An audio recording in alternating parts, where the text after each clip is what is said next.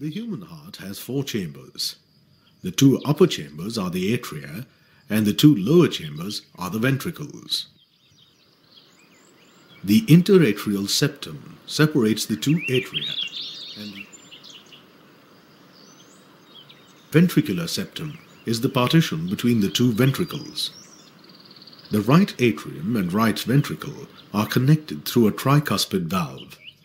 As the name suggests, it has three leaflets or cusps.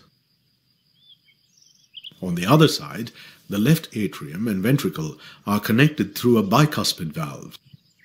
The bicuspid valve is also called the mitral valve because of its resemblance to a bishop's two-sided mitre or hat.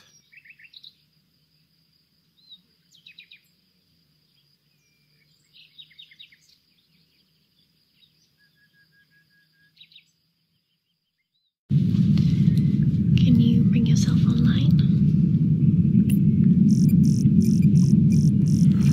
Before you get in your sleep capsule, we have to go through some simple tests, okay?